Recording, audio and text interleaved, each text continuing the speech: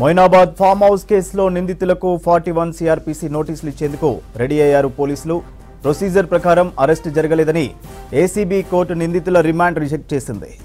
దీంతో పోలీసులు ప్రొసీజర్ ప్రకారం నోటీసులు ఇవ్వనున్నారు. నిందితులకు నోటీసులు ఇచ్చి విచారణకు హాజరు కావాలని కోరనున్నారు. శంషాబాద్ డీసీపీ జగదీశ్వర్ రెడ్డి ఆధ్వర్యంలో విచారణ కొనసాగనుంది.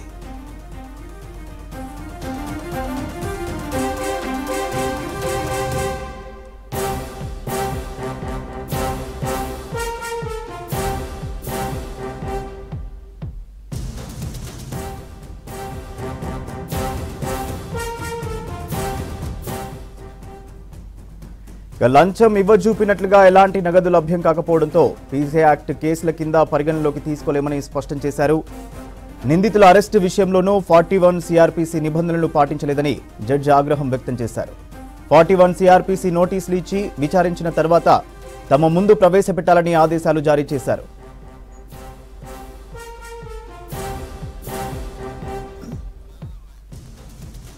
ఇక ఇదే విషయానికి సంబంధించి మరిన్ని డీటెయిల్స్ సదానందం అడిగి తెలుసుకుందాం.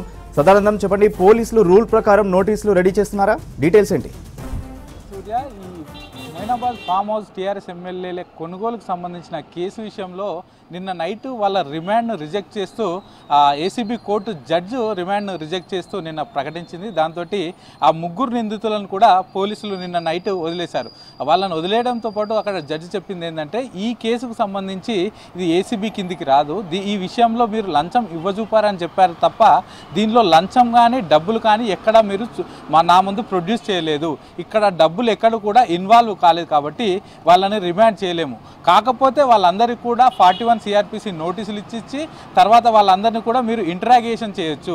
ఇంటరాగేషన్ చేసిన తర్వాత అప్పుడు ఆ కేసుకు సంబంధించిన పూర్తి వివరాలతోటి ఆ ఇంటరాగేషన్ చేసిన వివరాలన్నింటితోటి అప్పుడు వాళ్ళందరినీ ముందు కూడా కోర్టు ముందు ప్రవేశపెట్టాలని నిన్న జడ్జు పోలీసులకు క్లియర్గా చెప్పింది.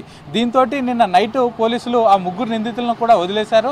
ఆ తర్వాత శంషాబాద్ డీసీపీ జగదీశ్వర్ రెడ్డి ఆధ్వర్యంలో ప్రొసీజర్ ప్రకారం ఆ ముగ్గురు నిందితులకు కూడా నోటీసులు ఇవ్వడానికి రెడీ చేస్తున్నారు. దీని ప్రకారమే ముగ్గురు నిందితులకు కూడా ఇప్పటికే నోటీసులు రెడీ చేస్తున్నారు. శంషాబాద్ డీసీపీ ఆధ్వర్యంలో ఈ నోటీసులు అన్ని కూడా రెడీ చేస్తున్నారు. ఈ రోజు వాళ్ళకు నోటీసులు సర్వ్ చేయనున్నారు. సర్వ్ చేసిన తర్వాత ఈ ముగ్గురు నిందితులను ఇటు అటు నందకుమార్తో పాటు మరో ఇద్దరిని కూడా మొత్తం ముగ్గురు నిందితులను కూడా ఇటు శంషాబాద్ డీసీపీ ఆఫీస్ లేకపోతే ఆ ఎఫ్ఐఆర్ ఎక్కడైతే అయిందో అది మోయినాబాద్ పిఎస్.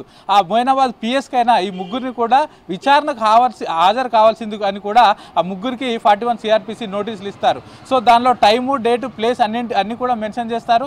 మెన్షన్ చేసిన తర్వాత విత్ ఇన్ ద టైం పోలీసులు ఏ టైం ఇస్తారో ఆ టైం లోపు ఈ ముగ్గురు నిందితులు కూడా అక్కడికి హాజరు కావాల్సి ఉంటుంది. సో హాజరైన తర్వాత అప్పుడు ఇంటరాగేషన్ ఈ కేసుకు సంబంధించిన ఇన్వెస్టిగేషన్ ఆఫీసర్ ఎవరైతే ఉంటారో అతని ఆధ్వర్యంలో వీళ్ళ ముగ్గురి విచారణ కూడా కొనసాగుతుంది.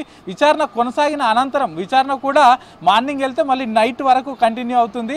ఆ విచారణ కొనసాగిన అనంతరం కూడా వీళ్ళందరినీ కూడా కోర్టు ముందు ప్రవేశపెట్టాలి. ఇక దీంతో పాటు విచారణ టైంలో వీళ్ళందరూ కూడా నిందితులు తమకు సహకరించకపోయినా లేకపోతే విచారణకు వీళ్ళు ఇచ్చిన నోటీసులకు సరిగా సమాధానం చెప్పకుండా ఆ విచారణకు రాకపోయినా అప్పుడు వీళ్ళని అరెస్ట్ చేసే అవకాశం ఉంటుంది తప్ప ఇప్పుడు ముందస్తుగానే వీళ్ళని అరెస్ట్ చేసే అవకాశం ఉండదు. యాక్చువల్గా ఫార్టీ వన్ సిఆర్పిసి నోటీసులు ఏంటంటే ఏ కేసు అయినా పోలీసులు చేసిన ఎఫ్ఐఆర్కు సంబంధించి అందులో ఇచ్చిన సెక్షన్ ప్రకారం ఐపీసీ సెక్షన్ ప్రకారము అది ఏడేళ్ళ కింటే తక్కువ ఇంప్రిజన్మెంట్ ఉన్నట్టయితే అవన్నిటి కూడా డైరెక్ట్ అరెస్ట్ చేయకుండా వాళ్ళకు సిఆర్పిసి నోటీసులు ఇచ్చేసి వాళ్ళని ఇన్వెస్టిగేషన్ ఆఫీసర్ ముందు హాజరు కమ్మని పోలీసులు ఇచ్చే నోటీసులే ఈ సిఆర్పిసి ఫార్టీ వన్ సిఆర్పిసి నోటీసులు. సో దీని ప్రకారమే ఈ ముగ్గురు నిందితులు కూడా ఈరోజు శంషాబాద్ డీసీపీ జగదీశ్వర్ రెడ్డి ఆధ్వర్యంలో ఈ ముగ్గురు కూడా నోటీసులు ఇచ్చే అవకాశం ఉంది. సో వీళ్ళందరినీ కూడా ఇటు శంషాబాద్ డీసీపీ ఆఫీస్ కానీ లేకపోతే అటు మొయినాబాద్ పిఎస్ కూడా వీళ్ళందరినీ పిలిచే అవకాశం ఉంది. సో వీళ్ళని పిలిచిన తర్వాత కూడా టోటల్గా ఈ కేసుకు సంబంధించే క్వశ్చనింగ్ ఉండే అవకాశం ఉంది. ఎందుకంటే నందకుమార్ నిన్న రిలీజ్ అయిన తర్వాత నిన్న పోలీసులు వదిలేసిన తర్వాత ఒకటే చెప్పాడు మేము ఓన్లీ ఫామ్ హౌస్కి పూజలు చేయడానికే వెళ్ళాము. మాకు ఈ టీఆర్ఎస్ ఎమ్మెల్యేల కొనుగోలు కానీ వంద కోట్లు కానీ ఎలాంటి సంబంధం లేదు. కేవలం మునుగోడు ఉప ఎన్నిక ఉప ఎన్నికల సందర్భంగానే టీఆర్ఎస్ ఆడుతున్న డ్రామా తప్ప దీనికి సంబంధించి మాకు ఎలాంటి విషయాలు తెలియదని చెప్తున్నాడు. ఇక మరోవైపు పోలీసులు అయితే ఇప్పటికే సిపి కూడా మొన్న నైటే చెప్పేశాడు. సో మాకు ఇన్ఫర్మేషన్ వచ్చింది. పైలట్ రోహిత్ రెడ్డి ఇన్ఫర్మేషన్ ఇచ్చాడు. అలాగే కేసు కూడా పెట్టాడు. దాంతోటే మేము వచ్చి వీళ్ళందరినీ కూడా అరెస్ట్ చేస్తామని సైబరాబాద్ సిపి స్టీఫెన్ రవీందర్ చెప్పాడు. సో దాని ప్రకారం వీళ్ళు చెప్తుంది ఒకటి ఉంది అక్కడ పోలీసులు చెప్పేది ఒకటి ఉంది. సో ఆ యాంగిల్లో మొత్తం కూడా క్వశ్చనింగ్ చేసే అవకాశాలు ఉన్నాయి. సో వీళ్ళ ముందు కూడా అక్కడ సీసీ ఫుటేజ్ కానీ అలాగే వాళ్ళ కాల్ లిస్ట్ కానీ కాల్ డేటా కూడా అవన్నీ తీసి వీళ్ళ ముగ్గురిని కూడా ప్రశ్నించే అవకాశాలు అయితే కనిపిస్తున్నాయి Surya. Right thank you Sadanandam.